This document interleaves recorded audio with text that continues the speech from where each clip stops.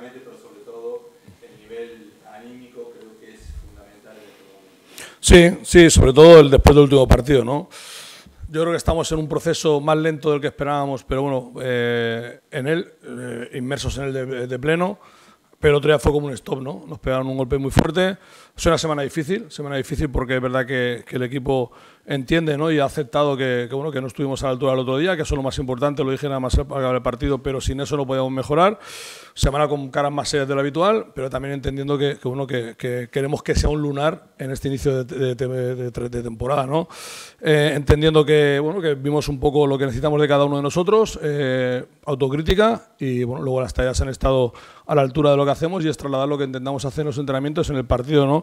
Yo creo que el, el equipo se merece ese, ese margen de confianza para volver a, ser el mismo. ¿no? Está claro que no hemos empezado como queríamos, está claro que tenemos cinco puntos, nadie rehuye de eso, pero está claro que también hemos demostrado que tenemos capacidad y estamos en el camino de poder hacerlo. ¿no? Qué mejor oportunidad que en una semana cortita para tampoco tener ese luto más de 48 horas. ¿no? Al final tú pierdes un partido, tienes tu luto, 24 o 48 horas y tienes que poner otra vez el traje de gala y, y, volver a actuar. ¿no? Entonces tenemos el partido mañana, vamos a con toda la ilusión, con toda la confianza y sabiendo que, bueno, que si estamos a un buen nivel competiremos bien.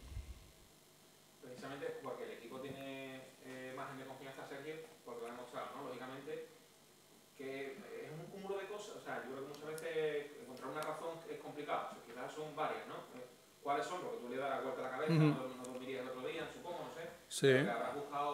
Sí, lo que pasa es que nosotros como buenos médicos eh, diagnosticamos al paciente, pero no podemos transmitir lo que, lo que entendemos cuáles son nuestros males, ¿no? Lo hablamos dentro, se queda en el vestuario, lo comentamos y está claro que, que para hablar de algo futbolístico, pivote lateral, pivote de tres, zonas, voy y vengo, necesitamos tener la confianza en la persona que hemos tenido, no quitarnos el miedo, ¿no? Yo creo que ahora mismo todo nos ha hecho que tengamos ese cierto miedo, esa responsabilidad excesiva que nos hace ser muy pequeñitos, ¿no? Ahora somos un bicho bola, ¿no? Necesitamos volver otra vez a ser ese futbolista que el año pasado que no tenía miedo a nada, que tenía la sensación de ser fuerte, de poder salir a campo y plantarle cara a cualquier rival. Ya mismo estamos con esa sensación de dudas de qué va a pasar. Tenemos que primero quitarnos ese corsé que tenemos para volver otra vez a, sacar nuestra mejor versión, ¿no? Y a través de ese corsé podremos luego hablar de si hacemos pivote de tres, pivote lateral, las evoluciones, cambio de orientación, porque sin eso es muy difícil el poder jugar al fútbol. Y estamos en ese momento.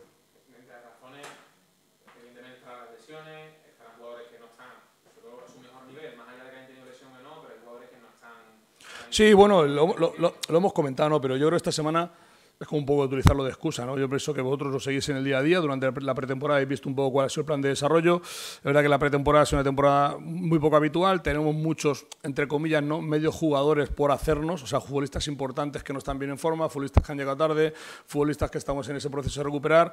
Está claro que todos tenemos muchísimas ganas de tener toda la plantilla eh, al máximo nivel porque significará que la calidad del equipo eh, aumenta, la dificultad para el míster es mucho mayor.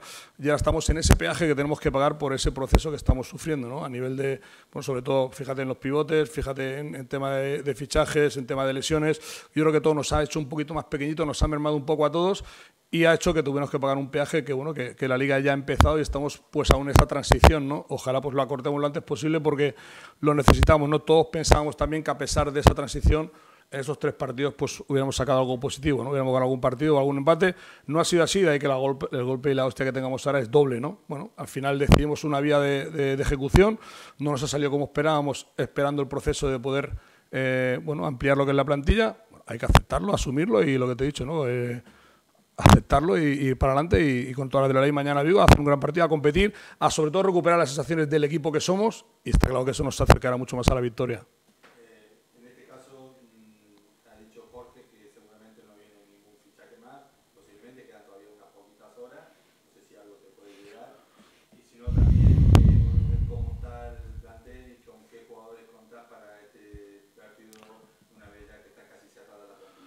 Bueno, la primera pregunta al final es, es Vigo, ¿no? Es Celta, es Celta y, y Vigo y Aspas y, Fran Beltrán y Tapia y los laterales largos. En cuanto a la segunda, pues eh, Brian ha llegado en buen estado de forma, está compitiendo hasta el último momento allí en, su equipo. Bongonda pues está un poco hacia la idea, sabéis que había estado un poquito eh, haciendo otro trabajo allí en su anterior club y bueno, eh, tiene mucha ganas, mucha ilusión, se le ve eh, el futbolista que es, pero bueno, coja, falta que coja estado de forma. Iza ya va, a venir convocado porque ya bueno, paso adelante, está para estar alto. Rubén está casi, casi para estar alto. Fede está más consolidado. Rubén Sobrino está mucho más consolidado. Eh, a nivel de ausencias por lesión, tenemos la de, la de, la de Rubén, se podría, pero no es lesión, ya estamos, digamos, en la, fase última de, de, trabajo y, y, no tenemos ninguna más a nivel de lesión. Eh, entonces, todo eso también nos hace ayudar a ser optimistas, nos hace ayudar a crecer, nos hace ayudar a, a saber que bueno que, que, que, bueno que quizás quizás no, no con total seguridad vamos a ser mejor equipo seguro.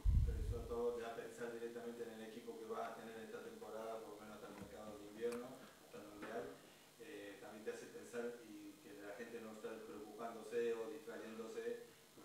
Sí, no, está, está claro que, que el, el, cierre de hoy va a ser importante para, para dar un carpetazo a una situación de incertidumbre y saber que somos los que somos y los que estamos aquí para, para, para afrontar la temporada. Esa, esa sensación de, de, incertidumbre que te hace ser pequeñito, que al final yo creo que la persona humana, el, el, la incertidumbre es lo peor que te puede pasar, ¿no? No saber, la, tener la duda, saber, al final, ¿ha pasado esto? Acción, reacción. Entonces el día de hoy va a ser clave para eso, pero nosotros solo estamos focalizados en Vigo, ¿no? Yo por no pensar más, pensar menos, va a llegar alguien, va no va a llegar nadie tenemos que, cerrar este, darle carpetazo a este tema, pero sobre todo saber que mañana tenemos la oportunidad de volver a ser nosotros, ¿no? Eh, semana corta, semana difícil, semana jodida, pero entendiéndola como, así y una manera de reivindicarse sería mañana competir a un buen nivel, ¿no? Ya no digo eh, ganar, que vamos con la idea de ganar, pero competir a un buen nivel porque eso está claro que nos acerca a poder hacerlo. Bueno, el, Celta al final es un equipo que, sigue línea continuista con el mismo entrenador, equipo que maneja esa estructura peculiar del rombo en el medio del campo, que la está transformando incluso en línea de cuatro directamente. Eh, está claro que eh, laterales muy largos, con mucho recorrido, equipo que te ahoga por dentro, que te atrapa por dentro para acabar dando el oxígeno por fuera con laterales y sacar centro. Del market de rupturas de las dos de arriba, mucha calidad en ese aspecto, tanto Carlos Pérez como Yago Aspas, que es el futbolista referencial, el que le da el timing, el que le da el ritmo, el que le da la paciencia, el que le da el salto de calidad al equipo, son muy importantes. Centro campo eh, dinámico, con muchas piernas, que abarca mucho terreno. Bueno, al final es un equipo reconocible y entendemos cuáles son sus virtudes. Nosotros hemos trabajado para eh, apretar sus debilidades y estamos en ese camino. ¿no? Al final eh, lo que tenemos que hacer sobre todo es recuperarnos a nosotros mismos desde la sencillez, de la simplicidad y a partir de ahí volver a, crecer, ¿no? hacer las cosas que sabemos hacer bien, eh, volver a traer una base sólida y a partir de ahí metiéndole ingredientes para que al final saca un buen equipo.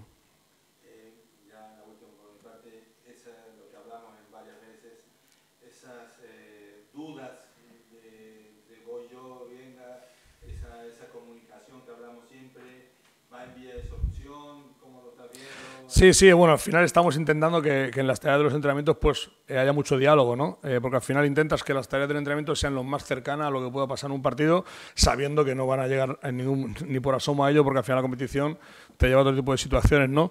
Pero está claro que estamos, bueno, trabajando ejercicios ya no solo eh, a nivel de juego, sino analíticos, ¿no? En plan de apoyar al compañero, que te pueda, que puedas tener siempre la voz de al lado, si derecha, si izquierda, bueno, al final es intentar acercarte a lo que, a lo que pasa en el partido y está claro que, que es una de las cosas que tenemos que mejorar porque son situaciones que en el fútbol profesional pues no pueden pasar. Eh, el tú mencionado la salida de Perea, ¿era un futbolista con el que bueno, si sale entiendo que tú no terminas de contar con él? Celta de Vigo.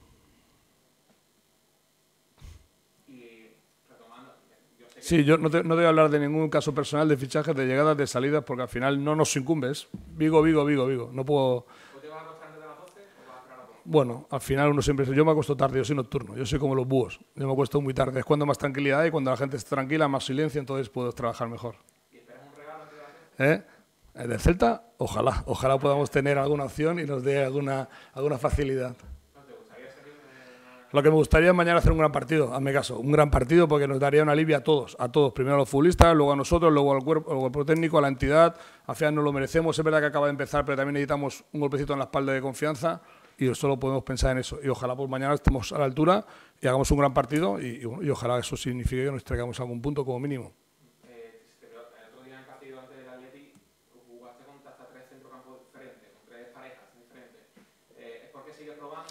No, no, el, el- no, es la realidad que tenemos, sobre todo en el centrocampo. Lo comenté al, al finalizar el partido. ¿no? no tenemos ningún pivote quitando el arcón que esté para 90 minutos. Es una posición que incluso hemos tenido que poner a Fali ahí sabiendo que tiene condiciones para hacerlo, pero que nosotros, o yo en este caso particular como ex pivote, eh, entiendo que no es el, pivote que deseo para mi equipo. Son circunstancias, son un viaje que hemos tenido que, solventar del examen de la mejor manera posible. Los chicos que han estado y lo han hecho al máximo nivel, con un buen nivel, pero es verdad que no tenemos ese pivote de 90 minutos. Entonces, en esos refrescos para mantener un poco la, intensidad eh, en la parcela del centro campo, entendíamos que, bueno, que con esos cambios nos dotábamos otra vez de, físico. ¿no? A partir de ahí está claro que Fede tiene una semana más de entrenamiento, que José eh, tiene una semana de entrenamientos, que Alarcón recuperamos que tiene eh, para jugar 90 minutos, tenemos el tema de Rubén que ya está apretando, bueno, al final eh, tenemos Antonio Blanco que el otro día jugó pero venía de, no competir ningún partido y puede volver a, a tener más minutos estamos en ese proceso, en ese peaje que, al final no quiero hablarlo de esta semana porque ha pasado de antes y esta semana pues queda un poco ventajista, pero que somos conscientes de eso y lo aceptamos y lo entendemos así. Por eso muchas veces eh, las cosas que pasan dentro desde fuera se ven de una manera distinta. Nosotros ahora mismo estamos muchas veces haciendo encajes de bolillos solo por el tema de los minutajes para no perder la identidad o la fuerza como equipo. Pero bueno, eso no tiene que servir de excusa. Eh, incluso el último partido contra contra el T-Club y bueno, hubieron fases en las que el equipo no estaba reconocido en fase defensiva y eso es culpa del entrenador. O sea, cuando un equipo en ese 4-4-2 hay grietas por el medio, hay goteras por el medio, eso es culpa nuestra y eso es de trabajar, de trabajar, de trabajar, lo teníamos asimilado y hay que volver a asimilarlo. A partir de ahí está claro que el hecho de matizar el eh, minutaje pues también te lleva a pensar en muchas otras cosas, pero es así y para adelante. Bueno, al final lo más importante es, es que nosotros consigamos una victoria, que consigamos un resultado positivo, todo aliviará todo, ¿no? Ese famoso, aunque quede feo decirlo, ¿no? algunos niños pues lo estarán escuchando, ese camión de mierda se va llenando, se va llenando, se va llenando y cada vez se hace más lento, se hace más grande, huele más, huele más, huele más.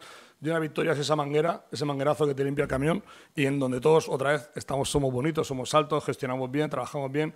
Bueno, yo lo que eh, te puedo decir es que desde mi punto de vista, la afición con otros, desde que estamos aquí, se ha portado siempre de una manera espléndida. Incluso el otro día hubieron cánticos, pero bueno, después de lo que hicimos nosotros en el partido, quizás hasta hubieron eh, pocos para nosotros. Y ya tengo que mis palabras son de agradecimiento. El recibimiento otra vez fue muy bueno, fue apotóxico. Invitarles a que sea así porque es la manera en la que nosotros podemos volver a alcanzar ese nivel lo antes posible. ¿no? Y a partir de ahí que sepan que vamos a intentar hacerlo todo lo mejor posible para poder darles una alegría lo antes posible porque la necesitamos todos. Sí, para hacer una entrevista personal esto, ¿eh? dime, dime, dime. dime. ¿Mira la clasificación o viendo a que viene el Barça semana que viene? inquieta? No, no, no me inquieta. Lo que me inquieta son los procesos nuestros. Al final, nuestro proceso de, de otra vez tener a toda la gente a tope, de tener toda la gente para al máximo nivel, que seas tú el que al final seas injusto con alguien porque están todos a un buen nivel, porque entrenan al máximo, porque tienen muchas dudas, porque no sabes qué sistema poner para que, bueno, al final eso es lo que estoy deseando, ¿no? Recuperar a todos los que estemos lesionados, pero no solo recuperarlos médicamente, ¿no? sino con alta competitiva, como se dice en el algo futbolístico, ¿no? para realmente eh, ahí poder exigirnos de verdad, poder apretarnos de verdad y poder ser ese, ese Cádiz que hemos sido. ¿Sí? Venga.